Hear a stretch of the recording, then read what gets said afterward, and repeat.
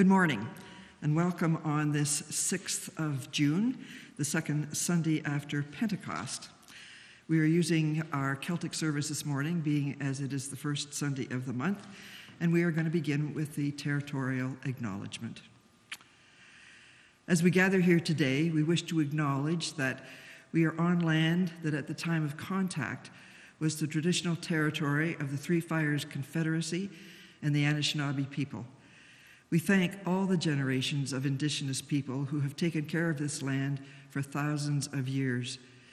May we who dwell on or visit this land also be good stewards, honoring those who came before us as we seek to move forward in truth and reconciliation.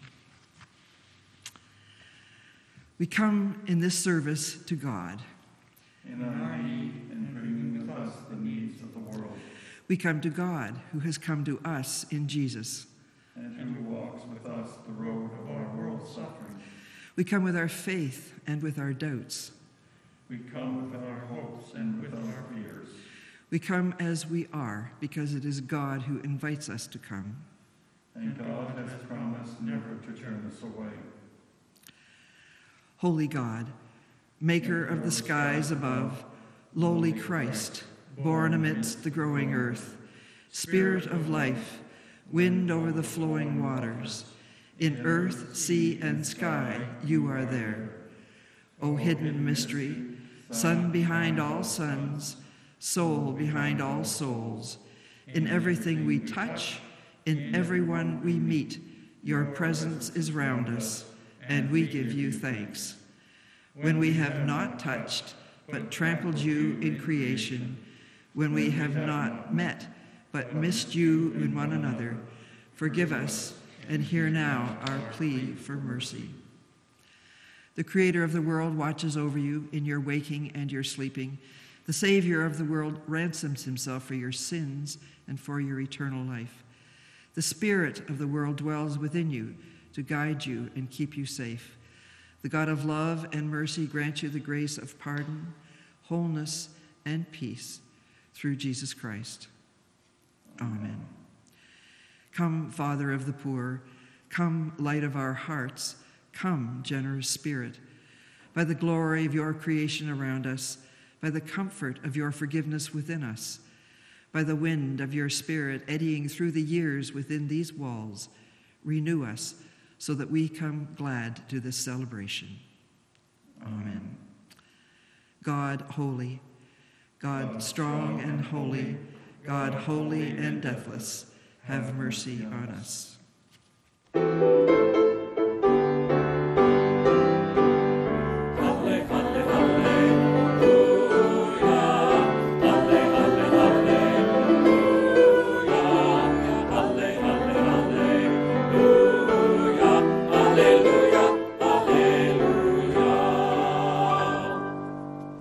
The Lord be with you also with you. The Holy Gospel of our Lord Jesus Christ, according to St. Mark. The crowd came together again so that they could not even eat. When his family heard it, they went out to restrain Jesus, for people were saying, He has gone out of his mind. And the scribes who came down from Jerusalem said, He has Beelzebul, and by the ruler of the demons he cast out demons. And he called them to, and, and he called them to him and spoke to them in parables. How can Satan cast out Satan? If a kingdom is divided against itself, that kingdom cannot stand. And if a house is divided against itself, that house will not be able to stand. And if Satan has risen up against himself and is divided, he cannot stand, but his end has come. But no one can enter a strong man's house and plunder his property without first tying up the strong man, then indeed the house can be plundered. Truly, I tell you, people will be forgiven for their sins and, whatever blasphemes they utter. But whoever blasphemes against the Holy Spirit can never have forgiveness, but is guilty of an eternal sin. For they had said, He has an unclean spirit. Then his mother and his brothers came, and standing outside, they sent to him and called him. A crowd was sitting around him, and they said to him, your mother and your brothers and sisters are outside, asking for you. And he replied, Who are my mother and my brothers? And looking at those who sat around him, he said, Here are my mother, my brothers. Whoever does the will of God is my brother and sister and mother. The Gospel of Christ. Praise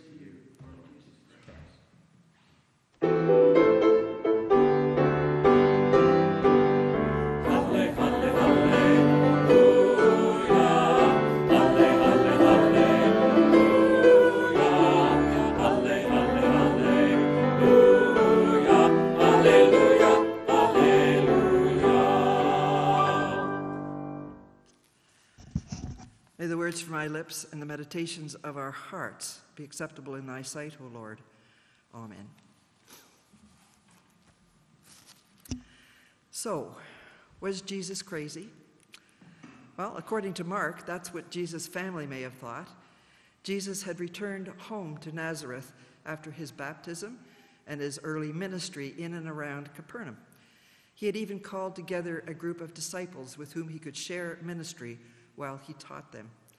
He's had some success with his preaching and his healing ministry, drawing both supporters and opponents.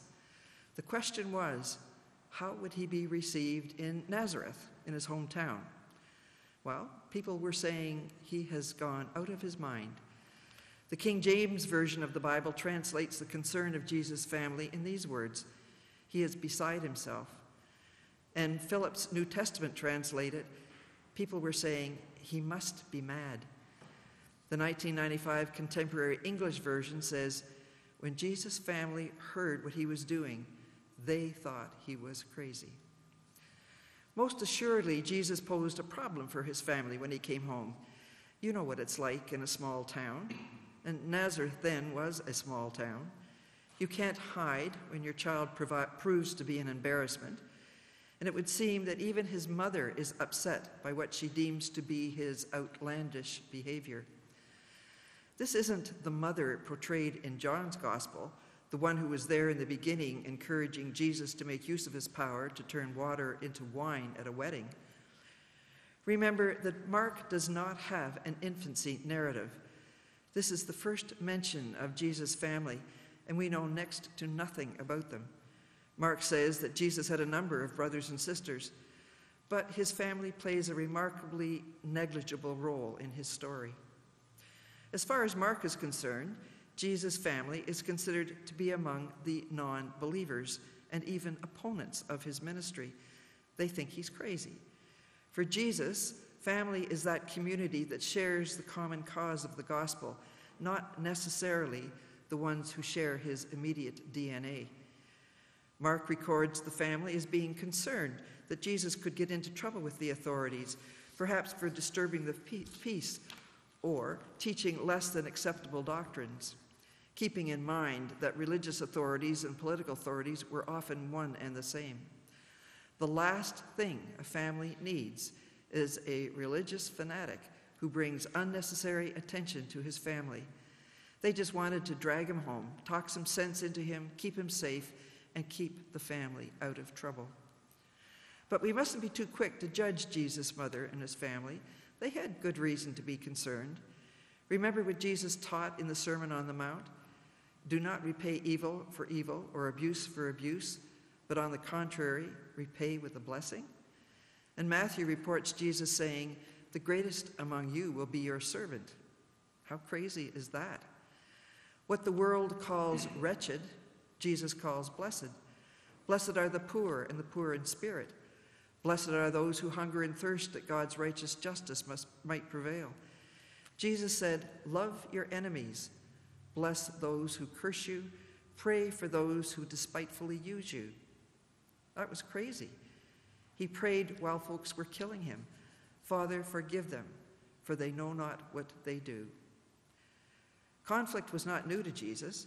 Since sons usually followed the vocation of their fathers, Jesus, as the oldest son, should have taken over the carpentry business when his father died. But Jesus announced that he was going off to be an itinerant preacher. It isn't going overboard to suppose that any one of the family members would challenge him. And who is going to take care of the family business while you are off preaching? Or who's going to take care of mother if you don't? And what kind of a son are you? Conflict arose.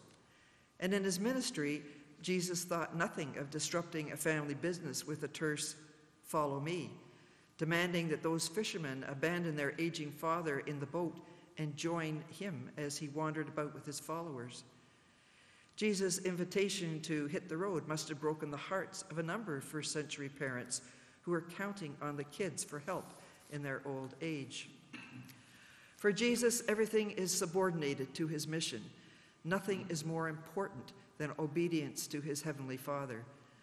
But he appears to be so dismissive of family. The Gospels tell the story that the chief focus of Jesus' mission was to reconstitute the scattered, lost sheep of Israel. Jesus left his biological family in order to form a new family based upon the summons of God, Abba, his heavenly Father. Jesus got into trouble for practicing a scandalously open handed table fellowship, calling the lost and orphaned back home. This man eats and drinks with sinners. That's one of the earliest and most persistent claims against Jesus. Even as he was dying in agony on the cross, Jesus invited an outcast, a somewhat repentant thief, to join him and his family in paradise. In all these actions, Jesus was forming a new family. So, was Jesus crazy? And those who followed him, those who would be his disciples, are they called and summoned and challenged to be just as crazy as Jesus? Actually, we need some Christians who are as crazy as Jesus. Crazy enough to love like Jesus, to give like Jesus, to forgive like Jesus, to do justice, love mercy, walk humbly with God, like Jesus. Crazy enough to dare to change the world from the nightmare it often is, is to something, into something close to what God dreams for it. And for those who would follow him, those who would be his disciples, those who would live as Jesus, be like Jesus, well, are they not called to craziness too? Think back to the crucifixion of Jesus.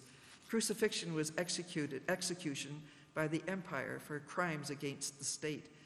It was an intentionally brutal means of capital punishment designed to send a message that revolution and revolutionaries would not be tolerated. So, if you were a supporter or follower of the person being crucified, it was very dangerous to stand close by during the execution. The rational and sensible thing to do was to go into hiding or exile.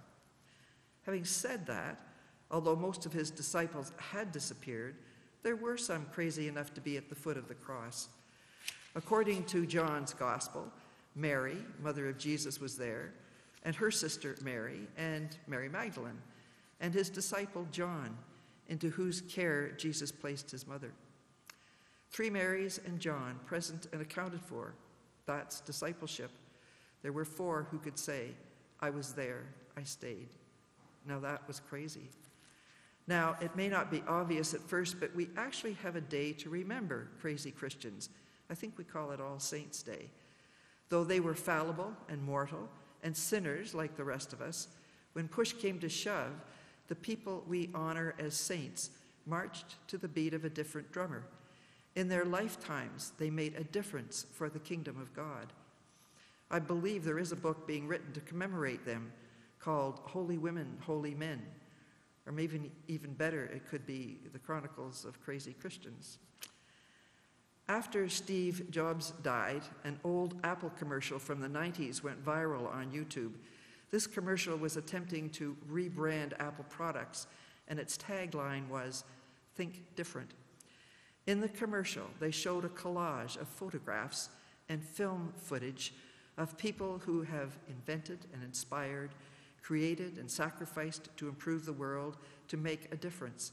They showed Bob Dylan, Amelia Earhart, Frank Lloyd Wright, Rosa Parks, Thomas Edison, Martin Luther King Jr., Albert Einstein, Mahatma Gandhi, and on and on and on. And as the images rolled by, a voice read this poem. Here's to the crazy ones, the misfits, the rebels, the troublemakers, the round pegs in the square holes, the ones who see things differently. They're not fond of rules, and they have no respect for the status quo. You can quote them, disagree with them, glorify or vilify them, but the only thing you can't do is ignore them because they change things. They push the human race forward. While some may see them as the crazy ones, we see genius. Because the people who are crazy enough to think they can change the world are the ones who do. So we need some crazy Christians. Sane, sanitized Christianity might just be killing us. That may have worked once upon a time, but I don't think it will carry the gospel anymore. We need some crazy Christians like the Marys and John at the cross, risking the wrath of the Romans. And in our time, like Rosa Parks and Viola Desmond, who courageously stepped up to challenge racial segregation. Christians crazy enough to believe that God is real and that Jesus lives, crazy enough to follow the radical way of the gospel, crazy enough to believe that the love of God is greater than all the powers of evil and death. We need some Christians crazy enough to believe that children don't have to go to bed hungry, that the world doesn't have to be the way it often seems to be, that there is a way to lay, down our swords and shields because every human being has been created in the image of God, and we are all equally children of God, called to be crazy like Jesus. Amen.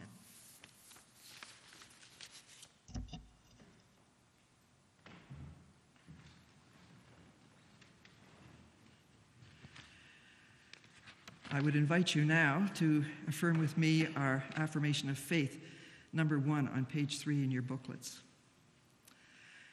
We believe in God above us, maker and sustainer of all life, of sun and moon, of water and earth, of male and female. We believe in God beside us, Jesus Christ, the Word made flesh, born of a woman's womb, servant of the poor. He was tortured and nailed to a tree a man of sorrows, he died forsaken. He descended into the earth to the place of death. On the third day, he rose from the tomb. He ascended into heaven to be everywhere present, and his kingdom will come on earth. We believe in God within us, the Holy Spirit of Pentecostal fire, life giving breath of the church, spirit of healing and forgiveness source of resurrection and of life everlasting. Amen.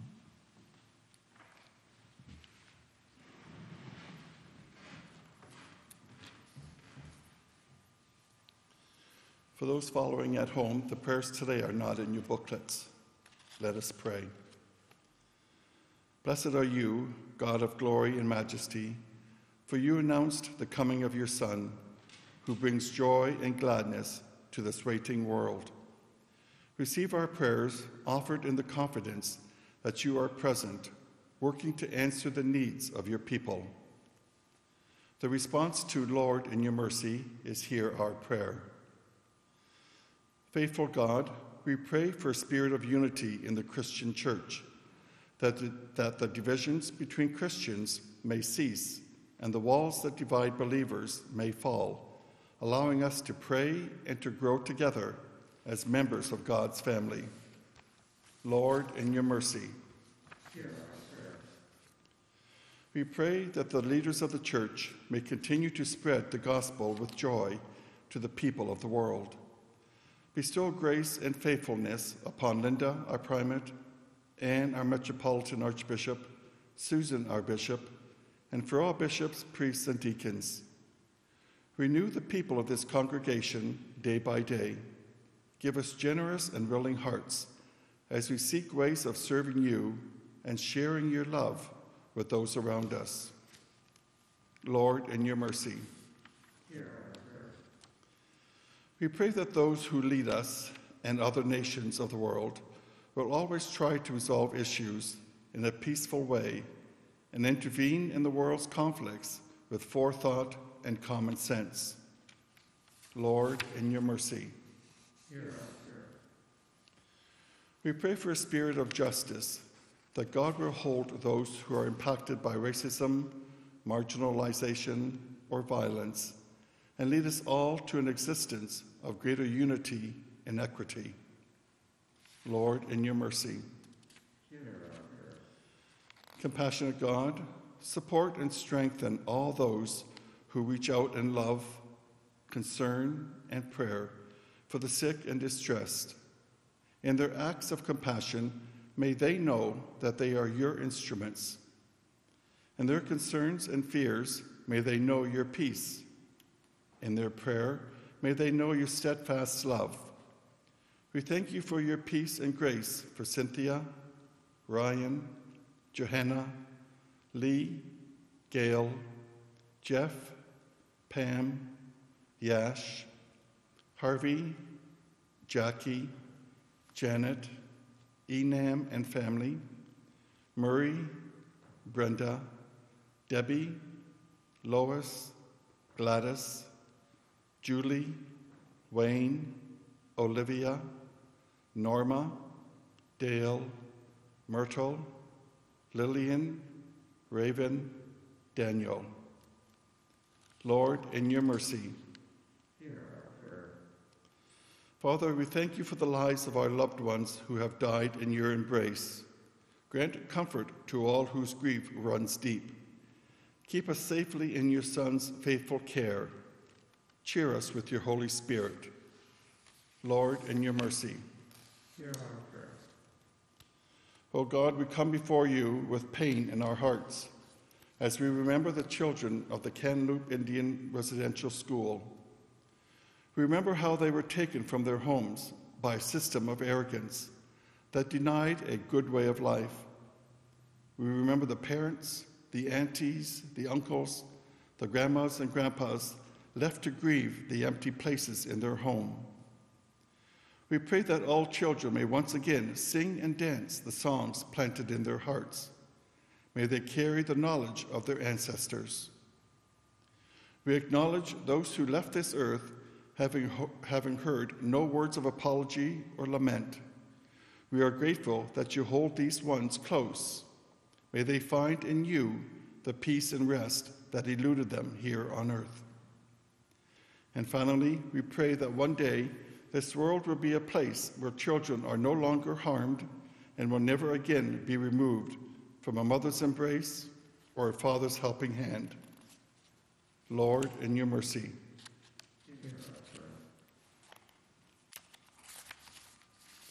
Gracious and loving God, grant that we may hasten to every town and home with the good news of your promise, O God, and proclaim the greatness of your name through our commitments and your peace. Amen.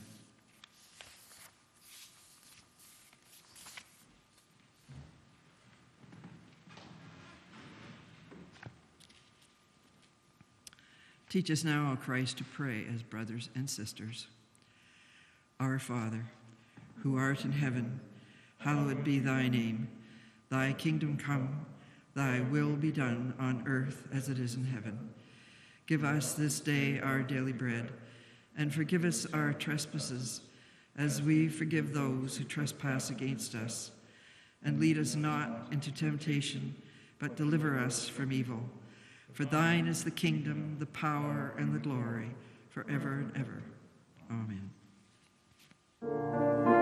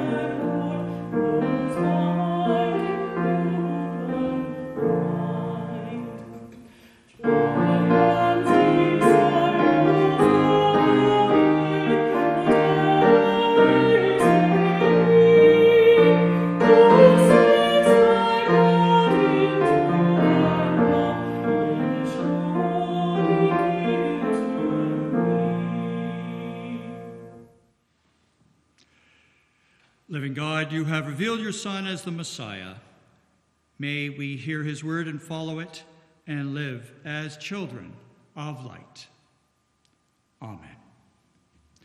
Our service continues for those following along with Eucharistic Prayer B on page 11. The Lord be with you. And also with you. Lift up your hearts. We lift them to the Lord. Let us give thanks to the Lord our God. It is right to give our thanks and praise. It is indeed right, for you made us, and before us you made the world we inhabit, and before the world you made the eternal home, in which through Christ we have a place. All that is spectacular and all that is plain have their origin in you. All that is lovely, all who are loving, point to you as their fulfillment. And grateful as we are for the world we know and the universe beyond our understanding, we particularly praise you, whom eternity cannot contain, for coming to earth and entering time in Jesus. For his life, which informs our living, for his compassion, which changes our hearts, for his clear speaking, which contradicts our harmless generalities, for his enduring presence, his innocent suffering, his fearless dying, his rising to life, breathing forgiveness, we praise you and worship him. Here, too, our gratitude rises for the promise of the Holy Spirit, who even yet, even now, confronts us with your claims and attracts us to your goodness. Therefore, we gladly join our voices to the song of the church on earth and in heaven. Holy, holy, holy Lord, God of power and might, heaven and earth are full of your glory. Hosanna in the highest. Blessed is he who comes in the name of the Lord. Hosanna in the highest. And now, lest we believe that our praise alone fulfills your purpose, we fall silent and remember him who came because words were not enough. Setting our wisdom, our will, our words aside, emptying our hearts and bringing nothing in our hands, we yearn for the healing, the holding, the accepting, the forgiving, which Christ alone can offer.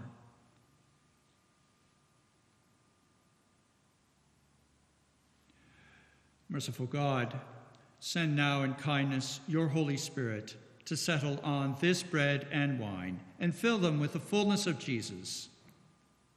And let that same Spirit rest on us, converting us from the patterns of this passing world until we conform to the shape of Him whose food we now share. Amen. Among friends gathered round a table, Jesus took bread and broke it and said, This is my body broken for you. Later, he took a cup of wine and said, This is the new relationship with God made possible because of my death. Take it, all of you, to remember me. Jesus, firstborn of Mary, Have mercy on us. Jesus, Savior of the world, Have mercy on us. Jesus, monarch of heaven, Grant us peace. he whom the universe could not contain is present to us in this bread. He who redeemed us and called us by name now meets us in this cup. So take this bread and this wine. In them, God comes to us so that we may come to God. Christ, who has nourished us, is our peace. Strangers and friends, male and female, old and young, he has broken down the barriers to bind us to him and to each other. Having experienced his goodness, let us share his peace. The peace of the Lord be always with you. And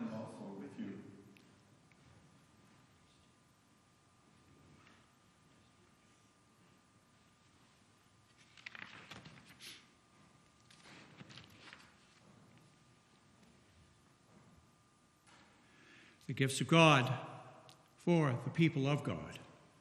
Thanks be to God. For those worshiping with us online and are receiving spiritual communion. Dear friends, I invite you in this moment, wherever you may be, to receive Christ in communion with the saints and the gathering of God's people, unseen and yet present with us now. Many are made one. We receive you, Lord Jesus Christ. We welcome your presence in us and together proclaim our love for you with our hearts, minds, our souls, and our strength. With the saints, we worship you. With the angels, we adore you. With your whole church, we proclaim your reign. Come to us, though many, and make us one in you. Amen.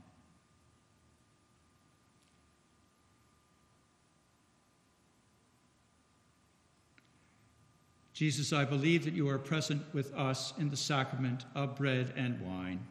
I love you and I desire your presence afresh in my life. Since I cannot now receive the bread and wine of the altar, come spiritually into my heart. I embrace you and unite myself to you. Never let me be separated from you.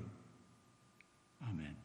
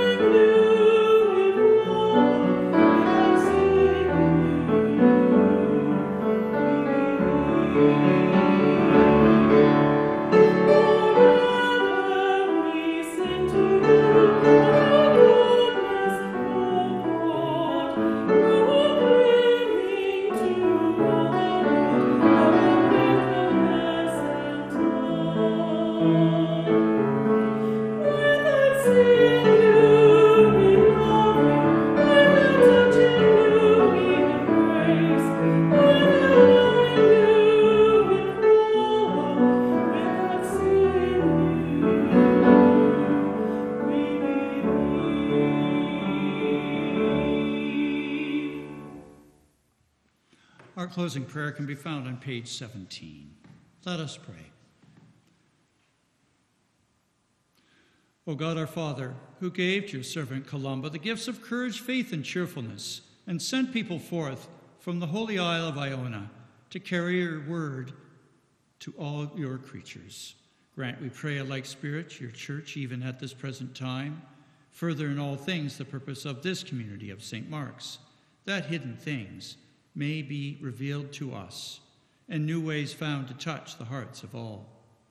May we preserve with each other sincere charity and peace, and if it be your will, grant that this holy place of your abiding be continued still to be a sanctuary and a light through Jesus Christ our Lord. Amen.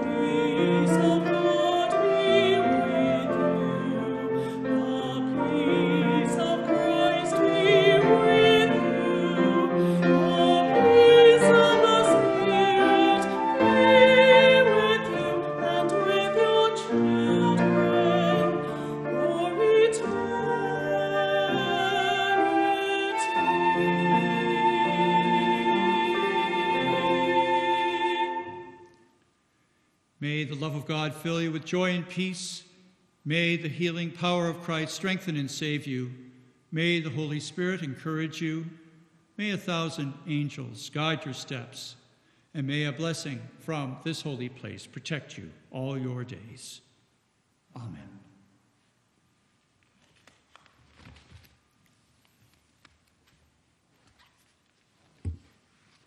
Now, time for the announcements.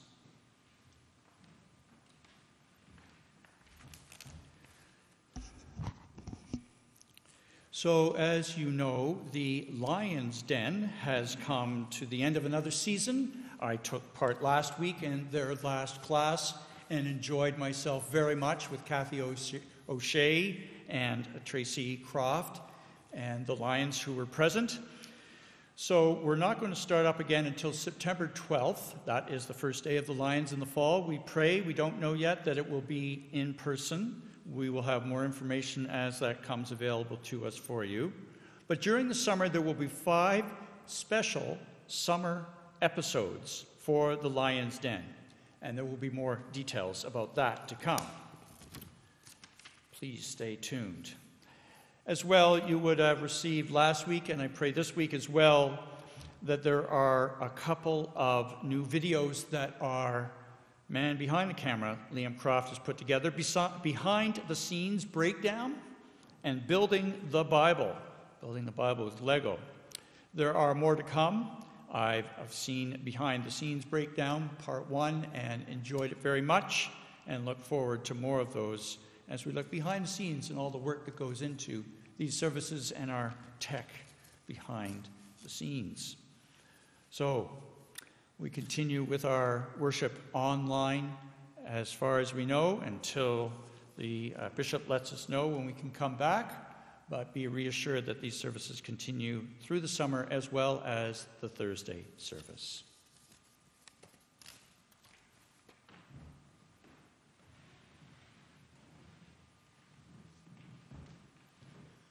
Go in peace and friendship and hospitality, rejoicing in the power of the Holy Spirit.